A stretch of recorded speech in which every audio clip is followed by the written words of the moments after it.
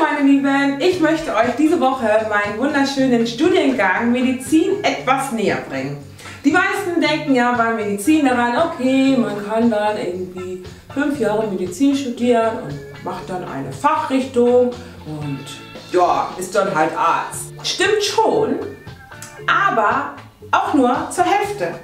Deswegen möchte ich euch diese Woche etwas mehr davon erzählen, was man nicht noch alles machen kann, wenn man sich dafür entscheidet, Medizin zu studieren. Nummer 1 wäre die Informatik. Es gibt momentan so viele Veränderungen, die sich darauf beziehen, dass man mit der Technologie äh, arbeiten muss. Falls man also ein Geek ist und ähm, sonst sich eigentlich auch für viele technische Sachen interessiert, Medizin und dieser Passion oder Leidenschaft auf jeden Fall in der Medizininformatik mit daran tüfteln und forschen, wie, wie Geräte noch besser werden und wie man halt sonst den Menschen auf diese Art und Weise besser helfen könnte. Total interessant.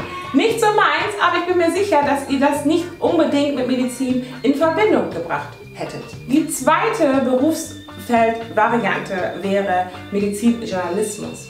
Hat man also etwas Lust zu schreiben, zu forschen, äh, vielleicht über seltene Krankheiten zu schreiben oder über ganz innovative Heilungsmethoden, ist man auf jeden Fall auch in der Medienbranche mit einem Medizinstudium sehr, sehr gut aufgehoben. Mein letztes Berufsbild, womit ich selber gar nicht gerechnet hätte, ist halt natürlich Gesundheitsmanagement.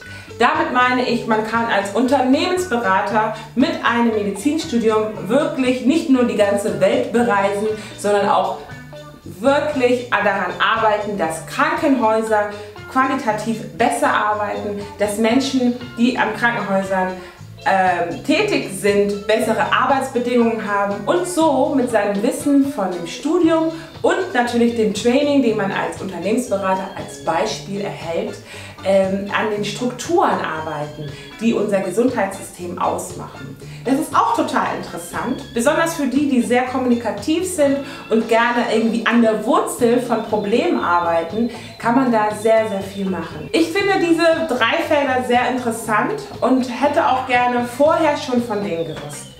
Und falls ihr euch dafür interessiert, Medizin zu studieren einfach nur Interesse an dem Stoff habt und noch nicht genau wisst, ob ihr euch in einem Krankenhaus sehen könnt, würde ich trotzdem den Studiengang in Erwägung ziehen, da euch am Ende des Studiengangs sehr, sehr viele Türen offen stehen. Ich hoffe, ich konnte euch inspirieren und ich hoffe, das war interessant für euch. Ich würde mich sehr freuen, wenn ihr eines der anderen Videos auch anschauen würdet. Und damit verabschiede ich mich und sehe euch nächste Woche. Vielen Dank. Tschüss.